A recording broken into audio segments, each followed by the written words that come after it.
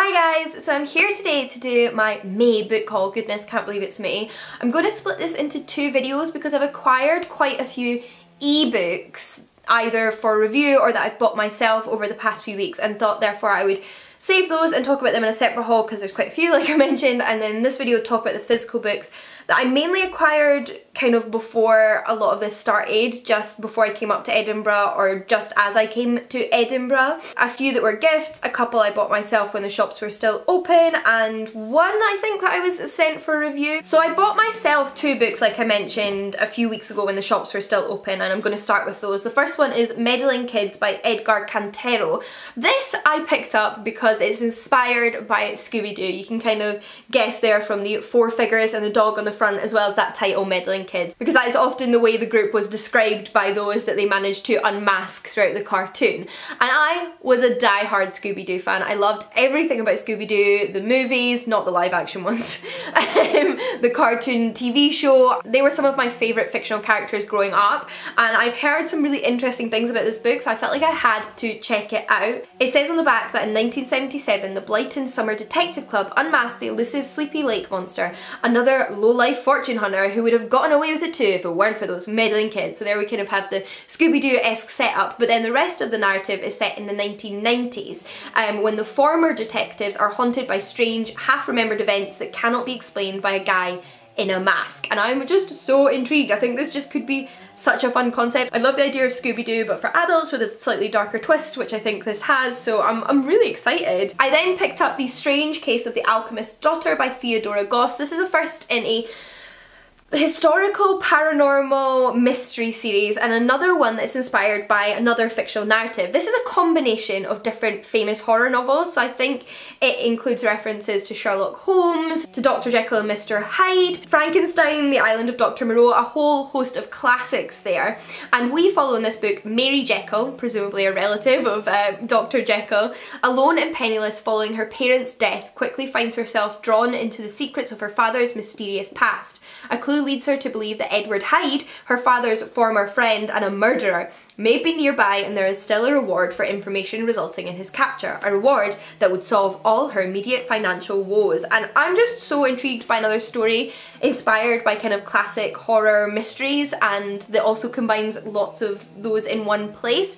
Back when I first started booktube I read and really enjoyed a book called The Madman's Daughter by Megan Shepherd which did a similar thing in that it was inspired first by the island of Dr Moreau was then in book 2 inspired by Dr. Jekyll and Mr. Hyde and then in book three inspired by Frankenstein. But that series for me very much tailed off. I didn't like the two sequels although I finished the series and I'm hoping this will kind of like exceed that book, give me some of those kind of dark creepy vibes but also be better. I was then sent one physical book for review. You've probably already seen me talk about this one because it was Good Girl Bad Blood by Holly Jackson. This is the sequel to A Good Girl's Guide to Murder which is a YA mystery series now with two books and I love this. I've already read this. I talked about it on my Instagram. I did a whole like read along in 24 hours on my stories and I reviewed it in some of my recent videos so I'll link those down below. But I mean I for starters, love the YA mystery genre. It's a crossover of, of two categories that I think works so well and I think Holly Jackson is a really exa great example of that genre. She just writes the most clever mysteries with fantastic twists and turns and really endearing like teen protagonists and it's also set in the UK whereas I feel like a lot of sort of YA mysteries are set in America so I quite enjoy that element to it but obviously I don't want to give too much away about this because it's book two in a series but I loved it, really really good and would really recommend book one. The rest of the books in this haul were then all gifts. So the first one my mum had picked up before I came up to Edinburgh and passed on to me when I arrived and it's The Grand Sophy by Georgette Heyer. So earlier this year I read a Georgette Heyer book called The Corinthian on the recommendation of my friend Taylor whose channel I'll link down below and after I read it I passed it on to my mum and she really enjoyed it as well. It's what she just describes as a bit of a yarn. It was like a romantic mystery adventure about a young woman and man in the 1800s and it was just a lot of fun. They're not recent books, I think she was writing in the sort of 50s so she's writing in a period that's historical for us now about another historical period and they're just good fun basically. They're quite amusing and silly and I've not read any more of her books so my mum decided to pick us up a copy of The Grand Sophy. This is just the one she came across in the bookshop so we could both read another one by her and hopefully just like enjoy the sort of like rip-roaring silly adventure of the 1800s. I don't really know what to expect from this one because she just picked it up since it's by Georgette Heyer but on the back it says when the redoubtable Sir Horace Stanton Lacey is ordered away on diplomatic business he parks his only daughter Sophy with his sister's family in Berkeley Square. Upon her arrival, Sophy is bemused to see her cousins are in a sad tangle. The heartless and tyrannical Charles is betrothed to a pedantic blue-stocking, Cecilia is besotted with a beautiful but quite feather-brained poet, and Hubert has fallen foul of a moneylender. It looks like the Grand Sophy has arrived in time to sort them out, but she hasn't reckoned with Charles, who has only one thought, to marry her off and rid the family of her meddlesome ways. That's quite fun because it doesn't seem to focus on a romantic plot in the blurb, instead it sort of sounds like Sophy is going to kind of rescue her relatives from um, unwitting circumstances and I like that idea so hoping to enjoy this one. And then my mum also picked me up a box set of books so there's 10 books here and it is the first 10 famous 5 books by Enid Blyton. So my mum picked me this up in The Works which is a sort of discount shop here in the UK and the whole box set was £15. So an excellent bargain birthday present that I very much appreciated because I adored The Famous Five when I was a kid. I devoured these novels, although most of them I got out of the library. And to this day, I actually only still own one Famous Five book, which funnily enough is book 11. Like, I did not anticipate that at all, but I was looking through my old kids' books and realised I own 11. So I now have books 1 to 11, and I thought it would be really fun to reread these. I want to do a video where I reread some childhood favourites, a vlog style read along videos so that's something I am planning on doing in the next few weeks and including maybe one or two of these famous five books because like I said they were just such fun when I was a kid. These are like mystery novels set in the mid 1900s. When did they originally come out now that I come to think of it? That I am curious about.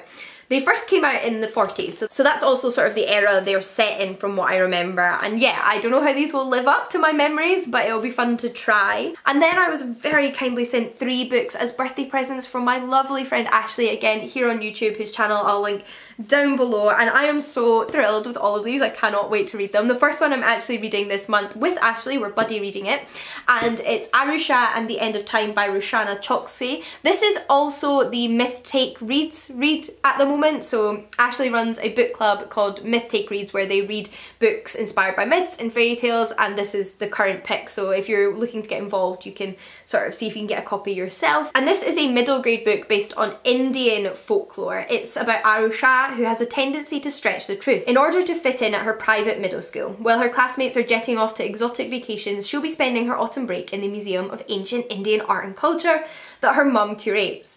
Is it is it any wonder Aru makes up stories about being royalty, travelling to Paris and having a chauffeur? One day, three schoolmates show up at Aru's doorstep to catch her in a lie. They don't believe her claim that the museum's lamp of Bharata is cursed and they dare Aru to prove it. Just a quick light, Aru thinks, then she'll never ever fib again. But lighting the lamp has dire consequences. She unwittingly frees the sleeper, an ancient demon who's intended on awakening the god of destruction.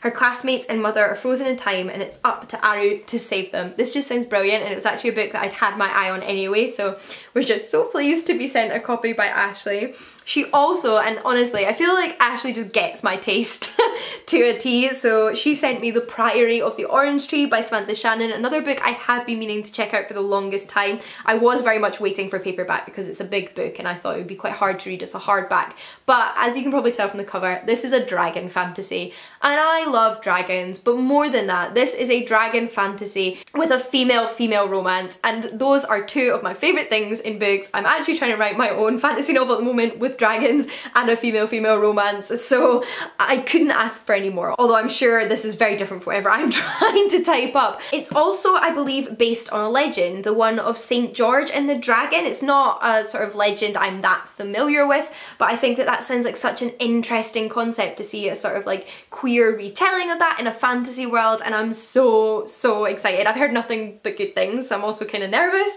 but really excited. we then, last but not least from Ashleigh, have warriors, witches, women. This is a book all about women from mythology. So it's called Mythology's Fiercest Females by Kate Hodges. And as you can tell, we've got Medusa with her snake here, here on the front. I think this goes beyond Greek mythology. This is about women in all different sort of branches of mythology and folklore. It's split into sort of categories like witches, warriors, elemental spirits, munificent spirits, and then has gorgeous illustrations to accompany them all. So that's Morrigan, who's apparently a Celtic goddess. the Pythia, who I know about. This was a Greek priestess, or what I might refer to as an, an oracle or seer. Pele, who's a Hawaiian goddess. White buffalo calf woman from um, indigenous American Lakotan tradition. This just looks so gorgeous and I'm so excited to dive into this and learn more about women from various different like mythologies, folk tales, traditional cultures and I used to love, and I've always loved books like this, I have this massive encyclopedia of fairies and magical creatures that I have pored over since I was about 15 years old when I got it for my birthday and still use as a reference book for when I'm writing. Who cares about Wikipedia? This book has it all. And similarly, I feel like this is going to offer me so much insight and knowledge and sort of maybe an opportunity to like compare goddesses and women from different traditions. And again, just like such a thoughtful gift. Can't believe how well Ashleigh knows me. So those are all the physical books I've acquired over the past sort of like month, month and a half. And I'm really, really looking forward to reading if I haven't already. Like I mentioned already, I will be filming a separate Kindle ebook haul just because there's quite a few of those and I'd rather have more time just because there's quite a few of those and it will give me more time to talk about them all individually. But until then, I would love to hear any thoughts you have on the books I've mentioned in this video. Happy reading. I'll see you all again soon. Bye guys.